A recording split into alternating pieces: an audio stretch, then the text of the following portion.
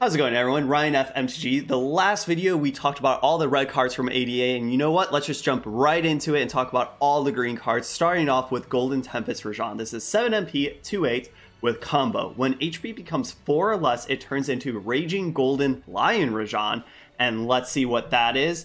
That is a 9 MP unit, well you're not casting it, for 310 with Heavy Pierce and combo. Overall, I like this card a lot because guess what?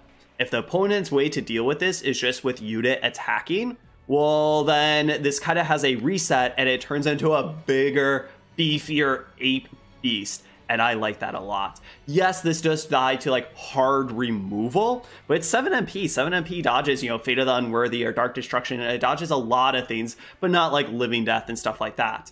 So yes, sometimes you will play 7 MP to 8 with combo and you don't get to flip it, but when you get to flip this, this is just a a threat with recursion and just a lot of stats and then it has combo and then it gets oh heavy piercing combo just kind of gets bigger beefier and better and i'm all in for golden tempest. Time to check in what x is doing. Sometimes he's doing really good. Sometimes he's not doing so good. So how's he doing in ada 6 mp for a 3-5 with anti-air. Mm, all that's not that great. However it says when played randomly distribute a total of six or sorry seven points between friendly units hp and your hero's life when HP is 12 or greater for the first time, gain plus 2 attack. This is an interesting one. Because it's 6 MP for a 3-5, and then distribute 7 points. That's a lot. 7 points is a lot. So if this soaks up a couple of them, then it's like a 3-6 or a 3-7 or a 3-10. Man, if this gets what? To 12? It gets plus 2, so it's 5? That feels really, really good. My thing is, will this help life gain strategies? Because there was a life gain strategy that was good, not great, that liked to, you know, gain life and give your your units HP buffs. I don't know. X could kind of push that to make that better. So I'm excited to see what X has in store. Hopefully it's not just like, oh yeah, this is not that good. Chun-Li is 4 MP for 2-4 with shield. While on the field, other friendly green units gain plus 1 attack. I like that it's just all green units, right? It's not humans, it's it's no tribes, it's just green units. Overall, I think this card is good, not great, and I'm not sure if this will really find a home. 4 MP for a 2-4 with shield is fine. However, you know, sometimes we see like herons where every single time you play a human, it gets another shield, another shield. That's what I want.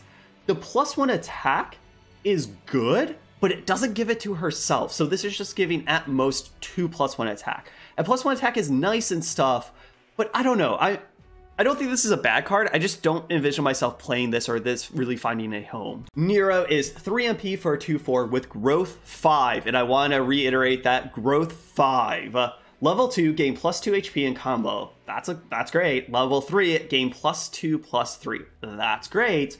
All that is such a great package for a 3 MP play. However, it's growth 5. Growth 5, there's a big difference between growth 3 that we see a lot of times in like especially like red growth units and some green growth units obviously and growth 5. You know, that's one of the reasons why I think growth has been getting better and better because we see more growth 3 than in comparison to when growth first came around with the Devil's Awakened, it was a lot of growth 5. And I don't know. If there's a growth 5 deck going around, then yes, Nero is going to be good. However, Nero doesn't help other Neros flip you have to play like you know a 3 MP unit and a 3 MP unit, and that's a little rough. And especially with Growth 5, it's hard to flow your board or flood your board with Growth 5 units because you can only play two, right? Five and then five. You, you can't go like the Amaterasu special of 333. So I don't know. This is okay. However, let's look at Eva. It is 4 MP for 2-5. When played, all friendly units with growth gain plus 2 growth points. Okay that all friendly human units with growth gain plus one attack. So, if you play Nero and then Eva, Eva, Eva will flip it because it would be four, then plus two, that is six. So then you only need to play another 4 MP unit to get all the growth. And it gets plus one attack. So if there's more things like that, that could be good. But that's a lot of and and also and also. It just kind of seems like you're going to be fighting with the wind to try to stack these cards on top of each other. Maybe it's just not worth it. So I don't know. I'm kind of kind of skeptical. There's a lot of power, but five is a big call. But there are things that you, maybe you just use this with like Nero's growth hero art and stuff like that that just like you know automatically levels it up and that could be really really good chris pushing what a boulder? With a very very yellow filter over it.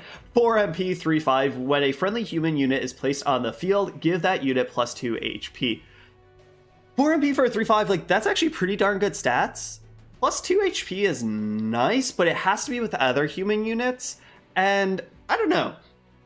Like I just think of like Karin in this slot, and I like Karin a whole lot more. So I don't know. Maybe this is just a cutoff. I don't think this is a bad card. I just don't see playing it. Maybe though. May- maybe this will be surprising to me that people will play this more, and it's just more impactful. But I just don't really see this being that impactful. Felon just throwing boulders left and right, dude. 5 MP for 1-8 with MP boost of 20. After taking damage and surviving, give one other random friendly unit plus one attack people are talking about this card. 5 MP, okay, for 1 8. 8 HP is a lot, so that means this will deal get damage and then survive hopefully quite a long time. MP2 boost only 20 for 5 MP is not that good. That's usually what we see on 3 MP units. However, the plus 1 attack every single time this gets hit is a lot. Of note is other random friendly unit. So this cannot pump himself. I think there's a lot of brewing potential for this card, and this card has me interested and I think is good. It's just what home does this fit best in? This big monster, dude, 9 MP for 4 9. 9 MP is a lot. That is a lot. 4 9, that's a lot of stats, but I want more from 9 MP. It has spillover. Okay, so put this in the middle lane, just have this be crashing face left and right. Seems cool. Death, deal 5 damage to all units without flight. So basically, this is like a big like earthquake effect when this dies and stuff. I love the flavor. I just don't think I'm ever going to play this card. 9 MP is so much. Yes, it is doing stuff. However, 9 MP is just so much where there's a lot of really good 5 and 6 MP plays that maybe don't do as much. Some cases, they might do more. I just don't see myself playing this. And also, it deals damage to all of your units as well. And yeah, you can maybe play around that and not play units, but I don't know. 9 MP, I think, is just too big of a pill for me to swallow. Nico doing some sort of pointing or other. 5 MP for 2-9, growth 5, give all friendly units plus 1 plus 1. I like that Nico plays well with other Nikos, right? You could play a Nico, then play another Nico, and give all friendly units plus 1 plus 1, so then it's, you know, that Nico is now a 3-9, this is a 3-9, you play another one.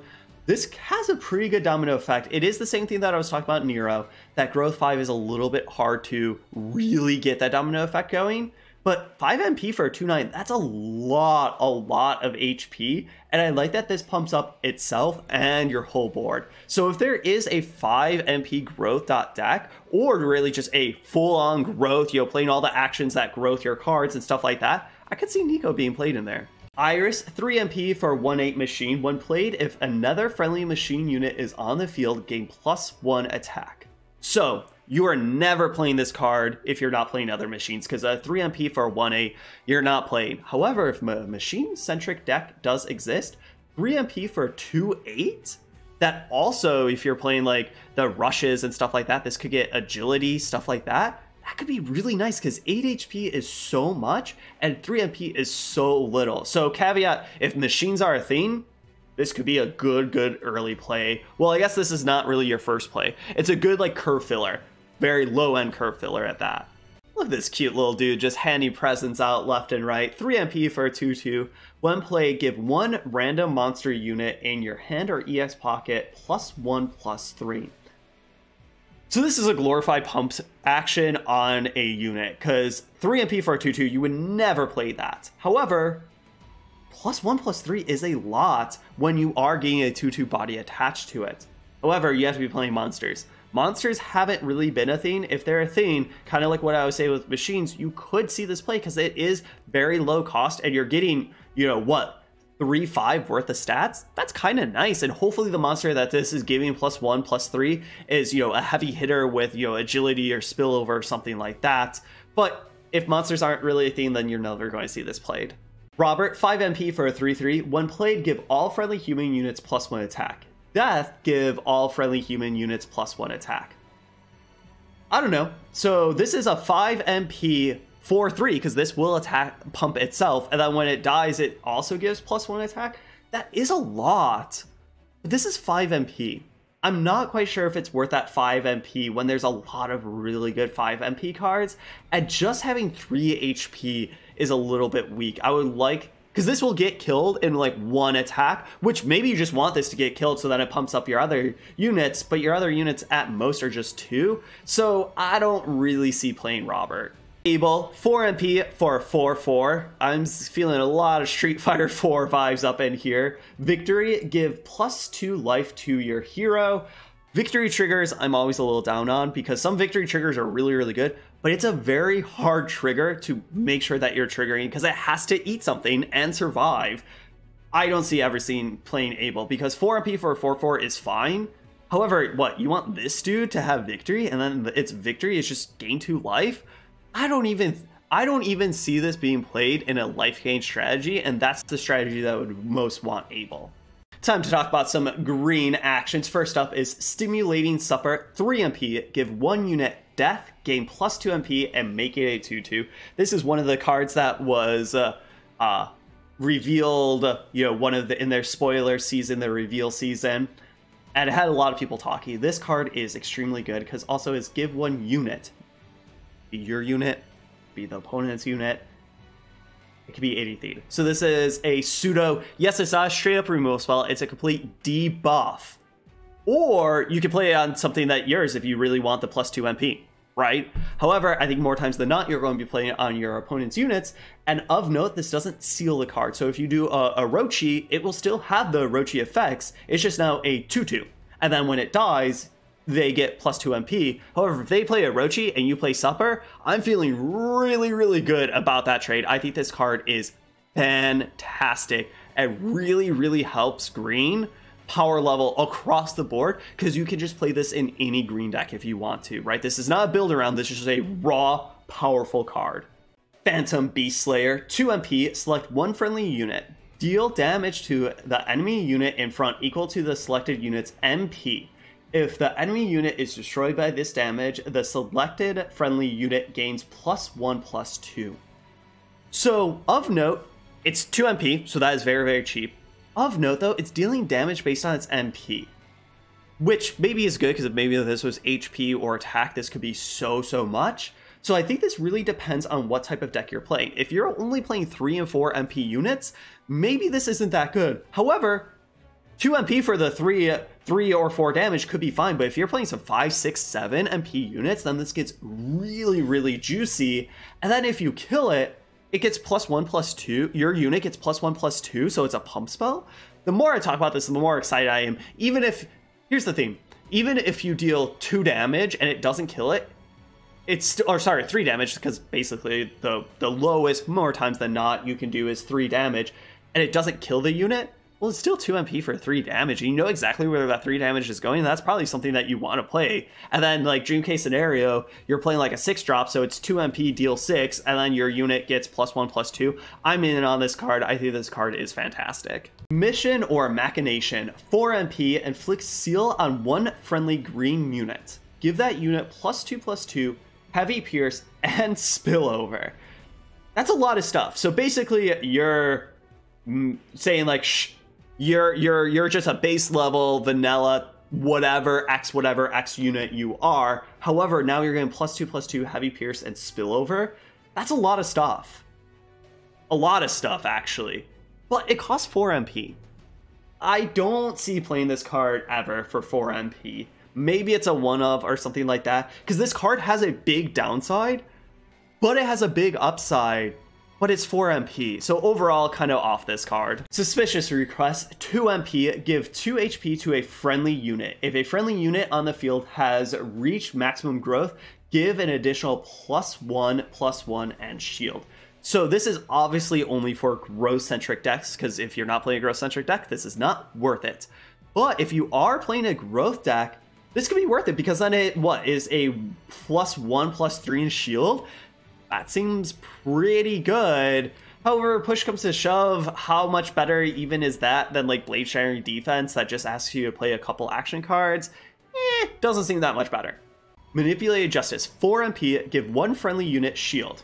okay, well, we have a lot of ways to give one unit shield for one or two MP, and this is four MP. So why am I playing, you know, three or two more MP? Then give all friendly units with shield plus two attack. Okay. Plus two attack is a lot. If all of your units have shield and this is plus six attack, that's so much. However, let's say worst case scenario, the only thing with shield is the one thing that you just shielded. This is shield plus and plus two attack for four MP. That seems like a heavy cost. I wish this cost this card cost maybe like three MP. Because I don't know. Even in a shield centric deck, I feel like it's very hard for you ever to really get all of your units with shield play this card and not have them Fate of the Unworthy or destroy one of your units. So a lot of times I don't think you're ever really going to get that 3 plus 2 attack dream that you want to live with this card. At 4 MP just seems a little bit too high for me to want to play this card. Tragic outcome, 2 MP, return one friendly green unit to your deck, then give all units in your hand and EX pocket plus 2 HP. It's all, all of your units. That's a lot of HP just for 2 MP. And yes, you are bouncing that unit to your deck, so not to your EX pocket. However, like let's say it's a feline that's about to die, you do tragic outcome, and then that little feline's throwing around a lot of HP, which can go a long way. So I don't know, tragic outcome, it has that magic 2 MP cost that always makes me a little bit more intrigued with cards. It's that Thief, 3 MP, return one friendly monster unit to the EX pocket and reduce its MP by half. Yet again, if monster units are or monster decks are a thing, then maybe you'll play that because it is kind of nice to reset it and you are reduce it by half rounded up, which is a big thing because then like if it's a 6 MP unit, well then you're it's that thief is kind of for free. However, our monster thing's going monster deck's going to be a thing. I'm skeptical, but if they are, then you'll play some It's That Thief. Well laid trap, 3 MP, inflicts seal on one enemy unit and that unit cannot counter. So, this is very much similar to Disarm with the extra benefit that that unit cannot counter, but with the big downside that this costs 3 compared to 2. Overall, I'm going to be playing Disarm. I think that 2 MP cost, it's free and active response phase, and that's why there's a big difference between 2 and 3 MP in my mind. Yes, the cannot counter is very good, and maybe, you know what, right now I will be saying maybe I'm underestimating that, especially on like a big, beefier unit. It helps to kill that unit that it cannot counter. So, I don't know. Uh, the more I talk about that, and the more times I think that the cannot counter ability could be worth a 1 MP extra, because that's basically what you're paying. You know, inflict seal on one enemy unit is 2 MP. The cannot counter is 1 MP do you play that for 1 MP? And maybe you do. Maybe it's a split. Maybe it's like, if you want to play like 3 disarms, maybe it's like 2 disarms and a 1 well lay trap. I don't know. Or is this going to be like an Ivory Trap teamwork where you only play Ivory Trap teamwork as a one of every once in a while? First Aid Spray, 3 MP, give plus 5 HP to one friendly unit or plus 5 life to your hero. My big question is about templating here and how this card actually works do you get to pick or is it random? Right? Like, do you play this card and does it say, like, oh, pick HP to HP or life? Or is it just like, yeah, flip a coin? Because if you flip a coin, it goes down. However, if you get to choose, it kind of goes up because, well, the more choices you have, the better things you usually get. I don't know. This card seems fine but it's 3 MP, and I keep saying that. Even in like a life gain strategy, there's a lot of life gain cards that are 1 and 2 MP that we already can play with. So even, let's say you get to pick, I think this card is okay, but I don't know how much you're going to be playing this. If you don't get to pick it, I don't think you're playing this. Even though 3 MP for 5 HP or 5 life is a little bit, well, no, you have like sibling memories. Or I'm off first aid spray. Goodbye. Tragic Rampage, 2 MP, give one friendly machine unit plus 1 plus 1 and shield. So yet again, you're only playing this in a machine dot deck, and our machine's going to be a thing. I kind of have my hesitations, but we are seeing some good build around cards.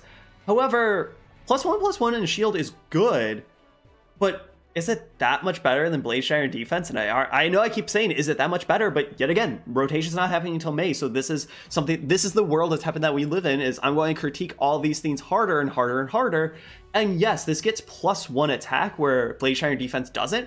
But Blade Shattering defense gives a whole lot more HP. So overall, push comes to shove, I think I like Blade Shattering Defense more than Tragic Rampage, even in a machine deck. Summoning Tool. 2 MP, add a unit card with an MP cost of 4 or less in your deck to the EX pocket.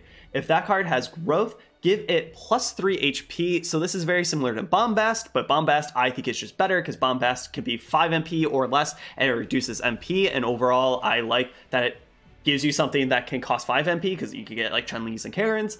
And I like the uh, MP reduction over the growth centric plus 3 HP, so I'm kind of off summoning tool when I can still just play Bombast. Last is Spray 2 MP, give one friendly unit, gain plus 2 HP every 5 seconds, maximum of 3 times, so this is at most plus 6 HP. This seems really good with maybe like Charge Shot, that, you know, it's, you know, plus 2, plus 2, plus 2, but we have like the auto heal card that doesn't have a maximum of three times. So yet again, I'm just going to say there's other cards that I would rather be playing with this. And now that we're done with green, overall, I don't know. Green green definitely got some really, really powerful cards, especially looking at the legendaries. Some okay cards, and a lot of cards that are just like, I feel like we have purely better versions still in standard. And I know I said this in the red one, I'll kind of reiterate really fast, is that standard is so long. That is why we need a rotation now, because so many times I'm just like, well, we have a better version. Blade Shattering Defense is still there, so I'm going to be playing Blade Shattering Defense. Now, maybe come May, where some of these cards rotate out, that's maybe when these cards will see play. But right now, green, I don't know, green got some really, really juicy ones. So I think green got some love, but a lot of just the filler is completely that and filler, and I'm never going to be playing these cards. But that's enough about green. Next, we'll be talking about purple, and purple is the new hero, has some new, like, well, build around stuff, so that should be hopefully exciting to look through all the purple cards.